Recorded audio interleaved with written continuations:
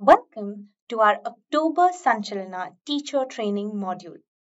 The topic chosen for this month's module is on the elements of speaking English in a classroom 3.0.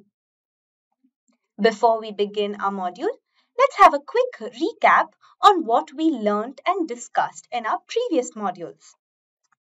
We saw how language tools have three major categories. The three major language speaking tools are vocabulary set, simple questions, and simple sentences. We extensively learned how to build our vocabulary. Under the vocabulary set, we have three basic categories, meaning that if we are given a topic, Words can be put into three basic categories. They are definition, features, and examples. Under the definition category, words that briefly describe the topic are put. Under the features category, words that talk about the basic features or characteristics of a topic are put. Third, under the examples category, words that are examples related to any particular topic are put.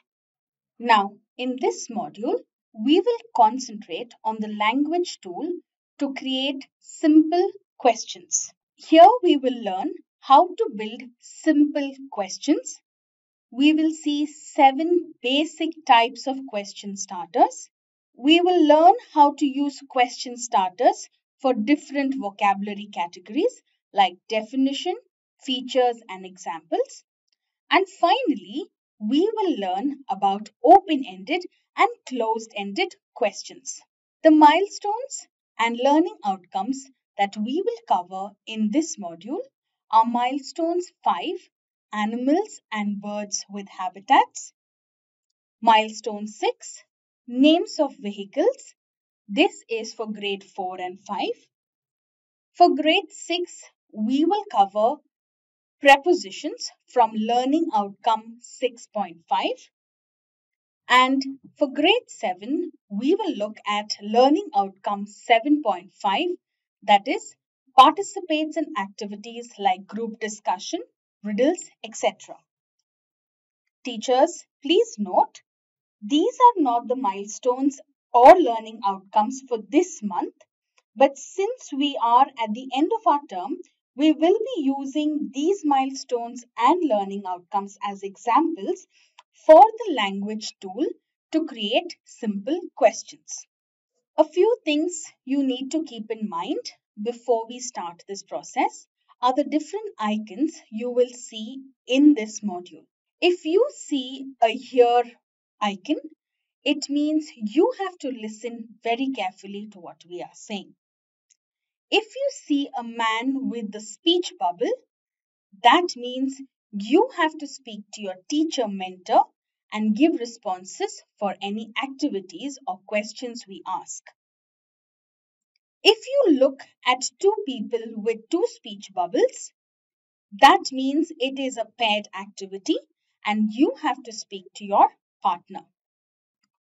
So, let's begin our journey. As we said, we will concentrate on the language tool that is simple questions. Before we see how to build simple questions, let's do a small activity around questions. Here is a picture presented to you on the screen. The activity requires you to frame some questions about this picture. Teachers, please note that the questions can be about anything and everything in this picture. You have about a minute's time for this activity.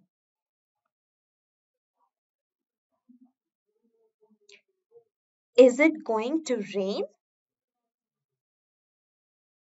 Is that a train I see?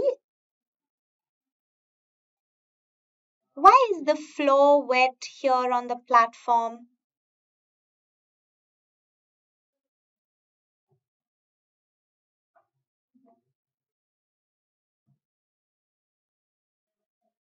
How many tracks can you see in this picture?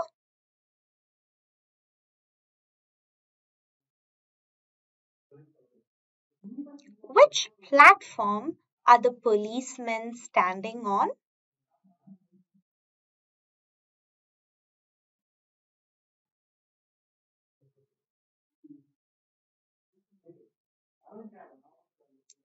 Do you think there is electricity in the railway station? Let's make it a little better now. The same picture is given to you again, but this time with small addition. We want all of you to frame questions about this picture, but using specific words. Please frame questions that start from the words what, which, and where.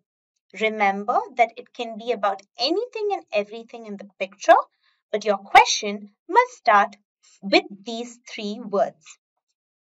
Again, you have about a minute's time to do this activity.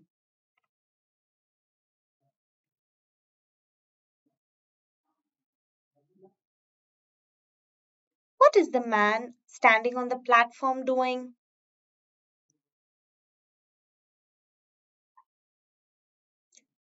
Which colored train do you see in this picture?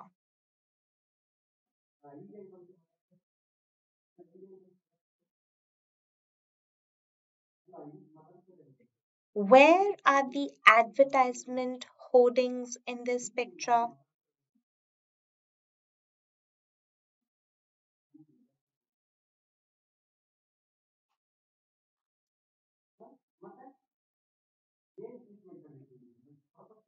How many numbers can you see in this picture?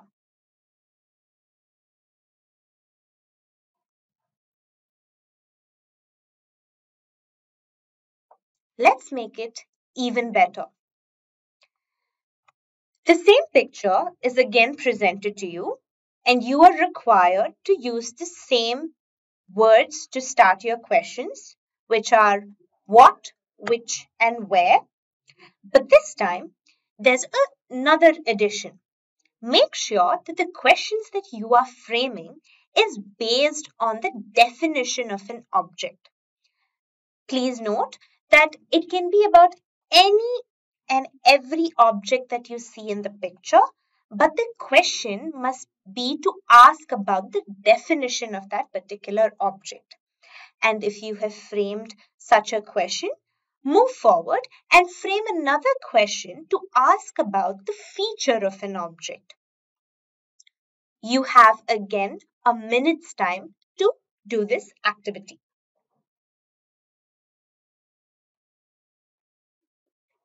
What is the place where trains come and go called? What is a place where people board trains called? Which part of the railway station do people stand on? Where in this picture do you see the train running?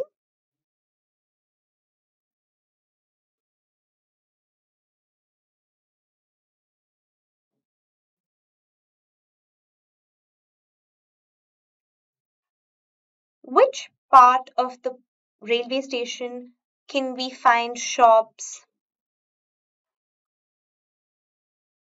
Wonderful. Thank you, Misbah, for taking us through this activity where we have asked questions. Now, why do we ask questions? Because questions help stimulate learning about any given topic. Now, we have seen how to ask questions using question frameworks and questions from the Kalika Chetarike. But how do we build our own questions? Let's learn in this module. Now, question building. What are some of the things we need to know to build our own questions? Now, the foundation or the basic is basic question starters. Then the next step is question starters for vocabulary categories. And finally, the step three is building questions for specific answers. And this is how we build or create questions. Now let's look at the different steps involved. Step one is the seven basic types of question starters. Now, what are these question starters? These are words that you begin a question with. They are who, what, when, where, why, how, and which. Now, when do we use the question word who? We use it to ask for a person. We use what to ask for information about things and actions. We use when to ask for information about time. We start a question with where to ask for information about place. And we ask the question why when we want to find out a reason. We begin the question with how if we want to know the condition quality, or manner of something. And finally, we use the question word which to ask for specific information. We will see how to create basic questions using question starters for milestones 5, animals and birds with habitats, and milestone 6, names of vehicles. Let us see how to use the seven basic question starters with the topic animals and birds. Who does the hyena depend on for food? What do lions eat? When does a crow fly? Where can you find a sparrow? Why does a camel drink a lot of water at once? How does a hen eat its food? Which animal has the longest neck? Now let us see how to use the basic question starters when the topic is a fox. What is a fox? Where does a fox live? When does a fox sleep? Which animal does the fox hunt? Who is the fox afraid of? How does the fox find food? Why does the fox have long ears? Now, moving on to our first Sanchalana activity. Teachers, remember that here you need to use question starters to ask about an auto rickshaw. This activity requires you to give your responses to your respective teacher mentors at the Sanchalana Center. The question starters that you can use for this activity are what, where, when, why, which, who, and how. Using this, please come up with questions about an auto rickshaw. Your time starts now and you will be given about two minutes for this activity.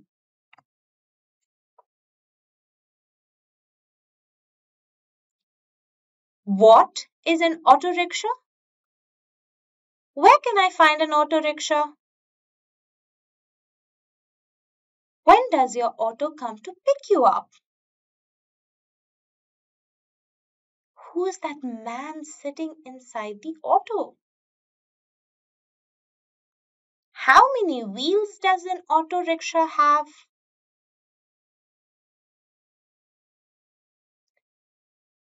Which part of the auto rickshaw is open?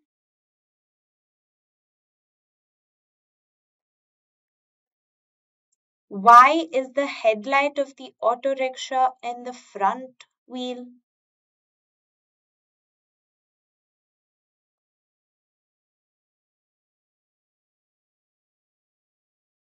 What color is the seat of the auto rickshaw driver?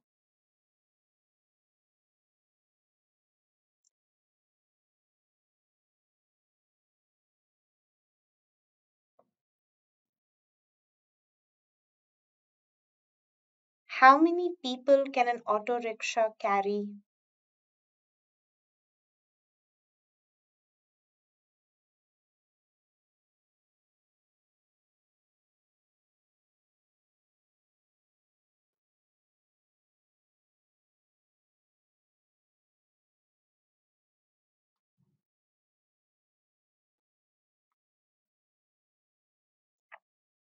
Moving forward to step 2. Here we will use question starters for different vocabulary categories like definition, features and examples. Now if you remember, every topic will have three basic vocabulary categories that is definition, features and examples. Now let us see what are the question starters for each of these basic vocabulary categories? Now, for definition, we can ask questions like what, how, who, and where. If you want to find out more about the features category, we can begin our questions with what, which, and where. And if you want to ask questions about the examples, you can ask the questions that begin with what, where, when, why, and who. Now, let us learn to use these question starters for each of these vocabulary categories. We will see this in Learning Outcome 6.5 and we'll concentrate on prepositions. Now, what is a preposition? Let's look at the definition. Now, prepositions tell us where something is or when something is happening. What are the features of a preposition? We have words like short words, comes before nouns, indicate location, relationship, and time. And the examples of preposition include on, up, down, between, along, and this is an exhaustive list. Now let us see how to use or create questions using question starters for the definition category. We can use question words like what, how, who, and where when we want to ask something like what is a preposition or what tells us where something is. We can also use the question word how. How do we know where something is? Or how do we know when something is happening? The step two is using question starters to frame questions based on the features category. We can use words like what, which, and where. Let's look at a few examples like which. Which word indicates location? Or which word comes before a noun? We can also use the question starter where. Where do we use words that indicate relationship or indicate time? And finally, stage three is using question starters to frame questions based on the examples category like when. When do we use the preposition on or with what? What does the word on tell us? Moving on to our next Sanchalana activity. Here, teachers, you all are required to pick a question starter and ask questions about the features of prepositions.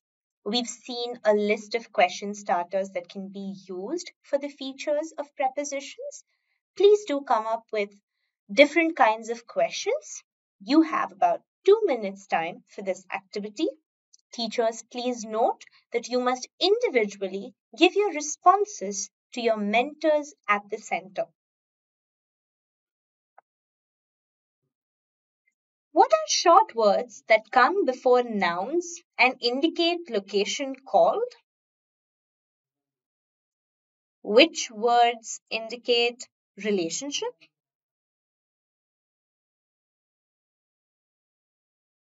How many types of words do you think indicate time?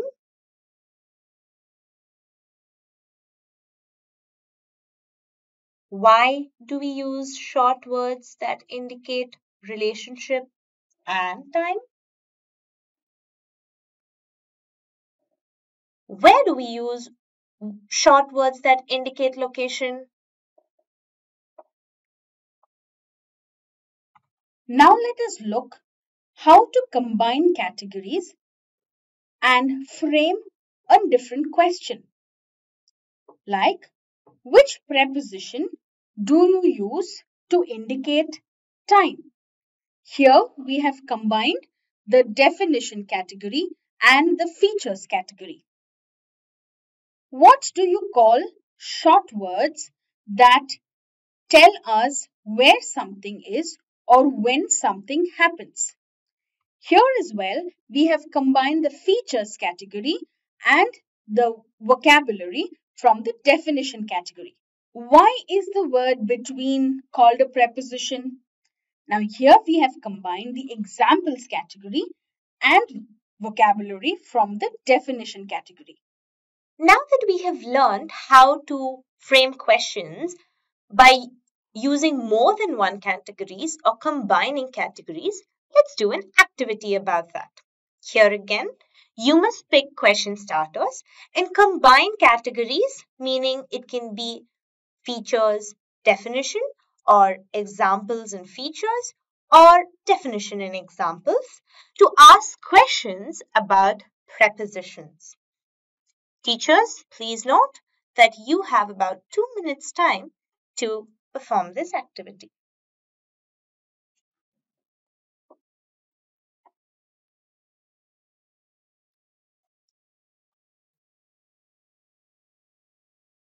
What kind of words tell us where something is and indicate its location with time? How many words are used or can be used to indicate relationship and time?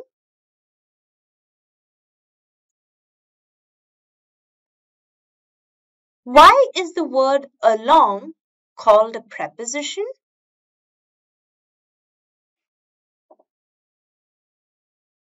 Now, we have seen how we can use question starters for milestones on, based on animals and birds, and also for a learning outcome based on preposition.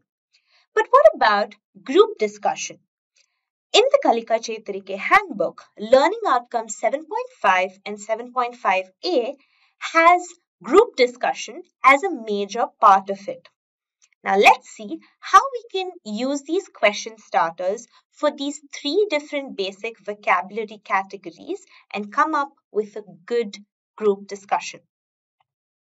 Let's say the group discussion topic that is taken up with the learners is on the market. We again divide the topic into three basic categories, namely definition, features, and examples. And we fill in words into each of these categories, meaning that the definition of a market will be something like this. It is a public place where people gather to buy and sell things. The features of a market would be something like this. A common place, items are bought and sold for a price. Items are displayed. And examples of the market would be fruit and vegetable market, fish market, and farmer's market.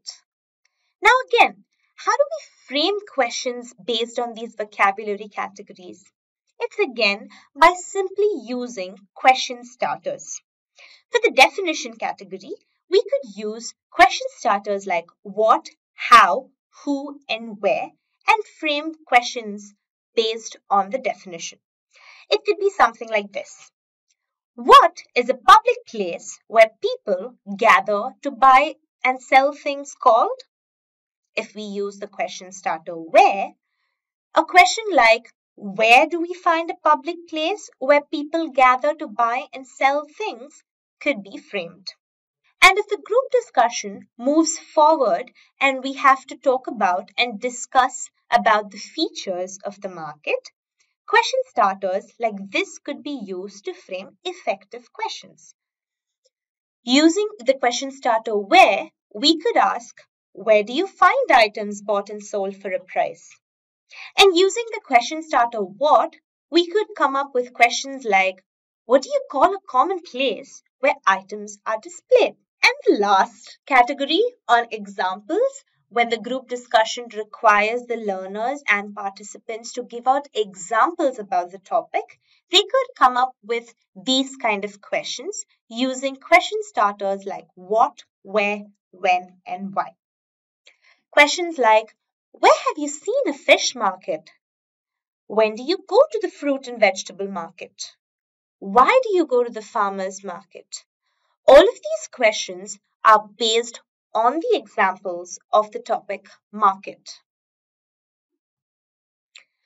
Our next Sanchalana activity is a pair work activity. Teachers, here you must pick a question starter and ask your partner questions about the examples of the market. Examples have been given and question starters have also been given. You have about two minutes time to come up with different kinds of questions based on this.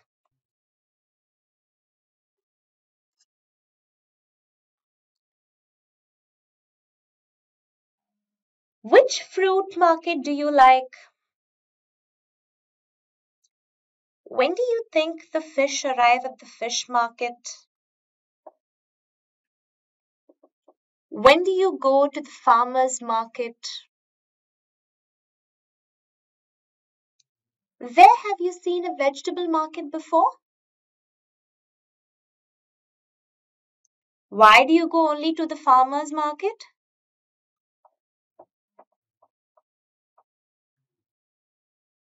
Now that we have seen how to frame questions for each of these categories and have practiced it as well, let's see and try to combine these categories and frame questions. If we need to frame questions based on more than one category, which is very likely to happen in a group discussion, where definition, features, and examples have to be discussed all together, questions like these could be formed. Where can you find a common place where people gather to buy and sell things? This question is based on the definition and features of the market. How are items bought and sold for a price at a fruit and vegetable market? This is a question based on both the features and examples category of the topic market. Now to our last Sanchalana activity. This is also a pair work where you as teachers must pick question starters and combine categories to ask questions to your partner about the market. We have seen how in a group discussion, it is important to ask questions based on different categories of the topic. And so here let us practice it with the topic market. Here again, you will be given two minutes of time to perform this activity.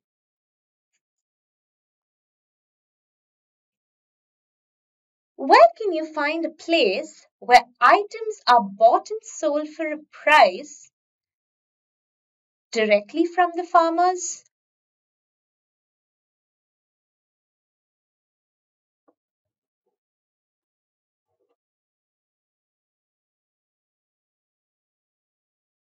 How are items displayed at a fish market?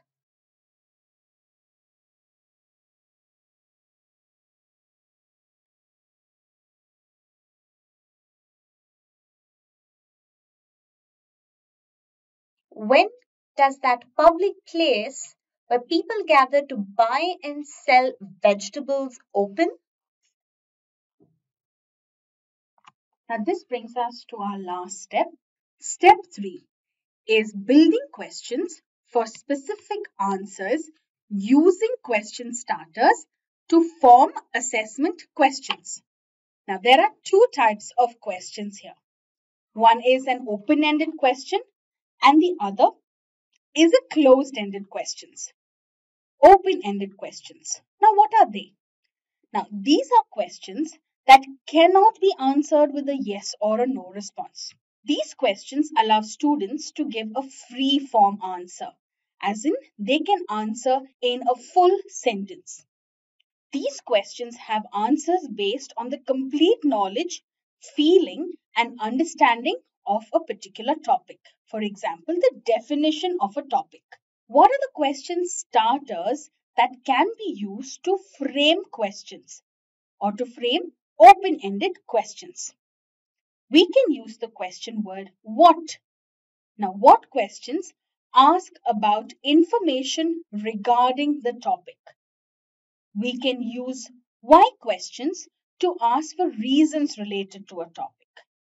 We can use the question starter how if you want to ask the condition, quality, or a method of something.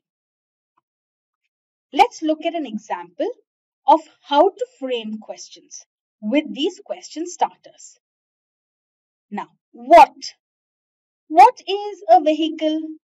Now, the answer to this is any machine that transports people, animals, or things is called a vehicle.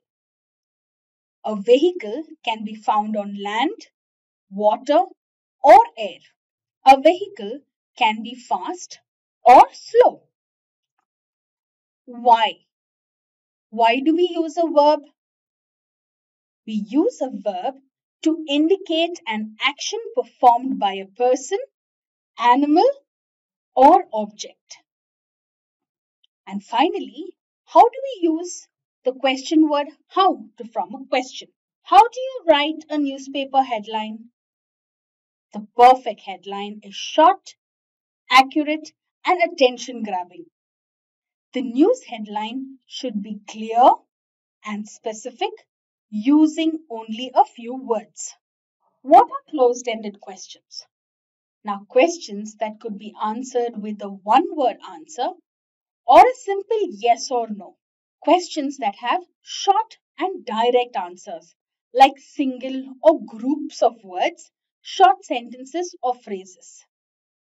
These also can have answers based on specific aspects of the subject. For example, features or examples related to a topic. Let's look at what kind of question starters can be used to frame closed-ended questions. We can use the which word which asks us about specific information. We can use the question starter where if you want to ask for a location. And we can use the question starter when when we want to ask for the time.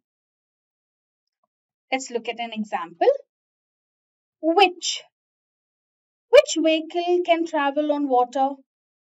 The answer is a ship. Where? Where can we find a headline? In a newspaper, advertisements, or a TV channel. When? When do we use a verb?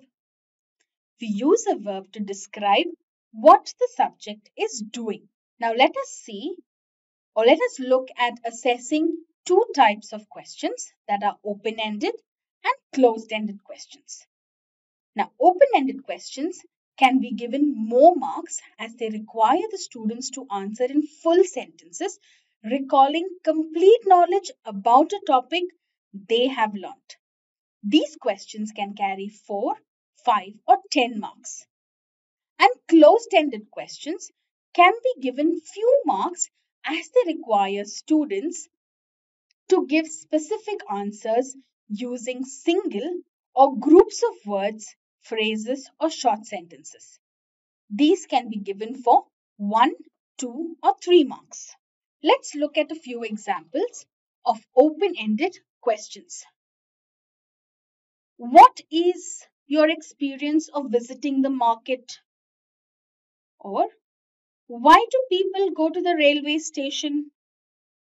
We can also ask question like, how did Toto Cat feel when he found the cap? Now, all these questions require a student to give answers in a full sentence. They have to recall the complete knowledge that they know about the specific topic that the question is being asked. Now let's look at examples for closed-ended questions. Where is the cap? Now let us look at a few closed-ended questions. Where was the cap? When do we know a train is about to leave? Which market do you visit when you want to buy fruits? Now, these closed ended questions require students to give specific answers using just a few words or a group of words or short sentences. And that is why we can give them for 1, 2 or 3 marks each. This brings us to the end of our module. We have learned how to build questions what kind of words can we use to start our questions with? And how can we put them in different categories? And how can we create assessment questions? Thank you, teachers, for being such a lovely audience.